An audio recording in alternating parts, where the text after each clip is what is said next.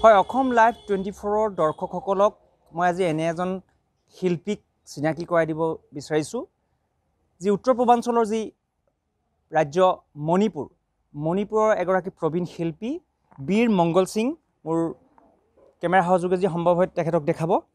এইগৰাকী হৈছে বীৰ মংগল সিং মণিপুৰৰ নাট্য জগতৰ এক উল্লেখনীয় চৰিত্ৰ যিহেতু তেখেতে বিগত কেইবাটাও দশক ধৰি মণিপুৰৰ নাট্য আন্দোলনত যথেষ্ট অৰিহণা যোগাই আহিছে আৰু মণিপুৰৰ এগৰাকী বিখ্যাত ব্যক্তি বুলি ক'ব লাগিব। কিন্তু সেই ব্যক্তিজন আজি তেখেতৰ নাট্যকৰ্ম বা শিল্পকৰ্মৰ বাবে আজি আমাৰ মাজত উপস্থিত নাই। তেখেত আজি এক সাংঘাতিক ধৰণৰ বিপদৰ মুখামুখি হৈছে।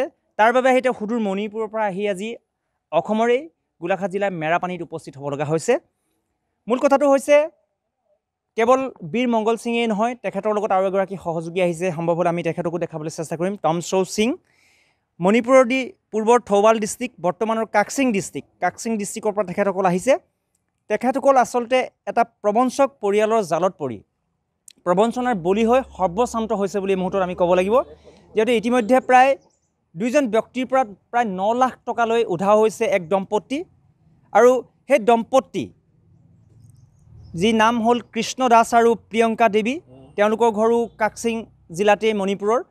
তেখেতসকলে এই দুইজন ব্যক্তিৰ পৰা এজনৰ পৰা পাঁচ লাখ আৰু এজনৰ পৰা চাৰি লাখকৈ টকালৈ ইতিমধ্যে উধাও হৈছে। আৰু জানিব পৰা মতে অকল কেৱল এই দুজন ব্যক্তিৰ পৰাই নহয় সেই কাকচিং জিলাৰ বিভিন্নজন ব্যক্তিৰ পৰা প্ৰায় এক কোটি টকা তেওঁলোকে হস্তগত কৰি পলায়ন কৰিছে আৰু তেওঁলোককেই বিচাৰি তেওঁলোক বৰ্তমান আহি উপস্থিত হৈছেহি গোলাঘাট জিলাৰ যি মেৰাপানী সীমান্তত ইতিমধ্যে তেখেতসকলে নাগালেণ্ডত সেই দম্পতীৰ সন্ধান কৰিছিল এতিয়ালৈকে কোনো ধৰণৰ সন্ধান পোৱা নাই গতিকে অৱশেষত তেখেতসকলে সংবাদ মাধ্যমৰ কাষ চাপিছে যাতে সেই দম্পতী কোনো সৌ- সন্ধান পালে তেখেতসকলক খবৰ দিয়ক আমি পোনে পোনে তেখেতসকলৰ সৈতে কথা পাতিবলৈ চেষ্টা কৰিম আচলতে তেখেতসকলে অসমীয়া ভাষা নাজানে তথাপি আমি তেখেতসকলে হিন্দীতে কথা পাতিবলৈ চেষ্টা কৰিম এ কাহা से है आप लोग अ, मणिपुर से है ये अब नाम आपका अ, बीरमंगल सिंह आप वहाँ की ड्रामा और अ, मैं मणिपुर का मशहूर कलाकार हूँ ड्रामा एक्टर हूँ डायरेक्टर भी हूँ। हाँ क्या दिक्कत क्या है आपको कि किसने आपका मतलब फ्रॉड किया है आपके अ, अ, मेरे बेबी से ये प्रियंका नाम का एक लड़की ने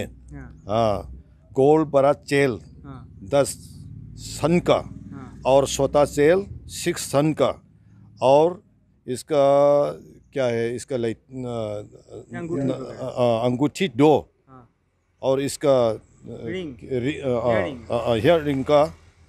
इसके साथ फोर सन हाँ। Cash payment fifty thousand. Total कितना होगा? टोटल चार चार लाख। चार लाख। कब कब लिया था आपसे? और पहले एक महीने के बाद। एक महीने। एक महीने के बाद लेके। ज़रूर देगा। एक क्राइम हो गया मेरा पास। जल्दी देगा। हाँ इस बोल के उसी ने मुझको फादर समझा पिताजी समझा। हाँ, बड़ा किया था। हाँ बड़ा पिताजी हाँ। ये पैसा दे दीजिए हम एक हफ़्ते के पास ज़रूर देगा इंटरेस्ट के पास साथ देगा इस कसम करके मेरे बीबी से पैसा और सोना लेके जाएगा। वो लोग घर में नहीं है वहाँ? घर में नहीं है। भाग गया भाग गया। आप लोग कहाँ कहाँ ढूंढा?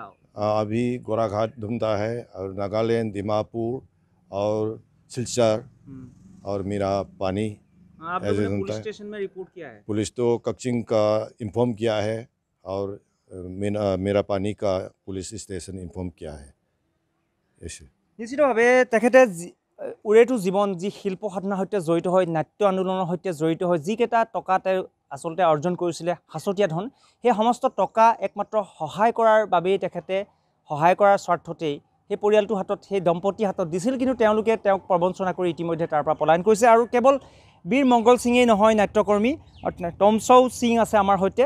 তেখেতৰ পৰাও ইতিমধ্যে পাঁচ লাখ টকা লৈ গৈছে বুলি আমি জানিব পাৰিছোঁ। এই আপছে কিতনা লিয়া? অঁ মেৰা নাম টমচৌ সিংহে। সিং কা ৰহনে ৱালা হওঁ মণিপুৰ কা। মেৰে চে ইন কেছ মে ফাইভ লাখ লিয়া। মতলব পেছা লেনে কে বাদ কিতনে দিনো মে ৱ লোক ফৰাৰ হ'ল पैसा देने के बाद बीस दिन।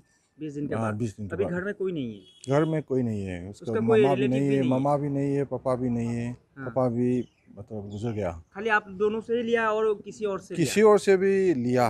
बाद में बाद में पता चल गया हमको। हाँ वो फ्रॉड है वो लोग। फ्रॉड है हाँ। अराउंड एक करोड़ एक हाँ। करोड़ से भी ज़्यादा लिया। काम क्या करते हैं?